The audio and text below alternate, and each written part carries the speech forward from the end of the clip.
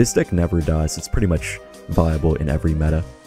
You can always switch out a couple cards in it and adapt it to pretty much any meta. Okay, I'll Balloon here. Very aggressive Pebble. We'll see if he actually defends. I kind of doubt he will. this guy's known for just going for the Pebbles right at the start and then sacking his tower. And looks like that's what he will do here, so we're going to have to see if we have any way to defend. This deck seems so much stronger now with the new Evo Zap. It's quite a bit better than Snowball, in my opinion.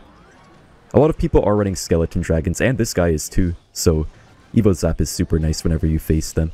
I feel like we're fine here. I don't really know why this man has a Monk in a Golem deck.